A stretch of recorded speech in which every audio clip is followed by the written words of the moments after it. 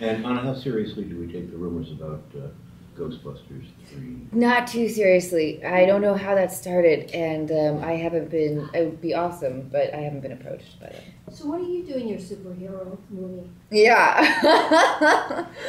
uh, I played her four times, Cindy Campbell. um, no, I just finished, I just wrapped um, The Dictator over the summer uh, with Sacha Baron Cohen. Um, and now, um, hoping, I've got a couple other projects in development that we're hoping to uh, to get off the ground soon. Talk a little bit about the dictator. Um, it's uh, Sacha Baron Cohen's movie. Uh, we shot it in New York. There is not much. I, I can't. Dictator. Yeah, I can't say much either. Um, but um, I play a a, a, diff, a physically different character than I do in What's Your Number. Now, what's the, what's the Mark connection on this? Was, is this just a coincidence, or did you meet Sacha through Mark, or?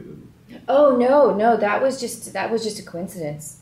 Um, uh, I I went in and met with uh, Sacha last spring, and um, we worked together. We did a lot of improv. That's how he likes to work. It's keeps you on your toes. I mean, everything we do is improv. Um, so yeah, we met, and then um, and then I got signed on to do the project. Can you talk a little bit? I know I know you can't talk about the project, but you can talk about your experience and the takeaway of uh, what it's like working with him and um, what mark he leaves on you.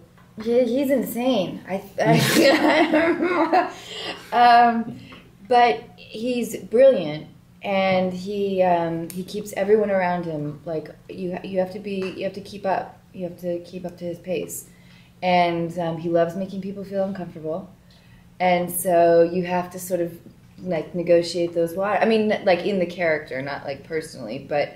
Um, so you have to sort of figure out what strategy you're going to take to um, to act with him.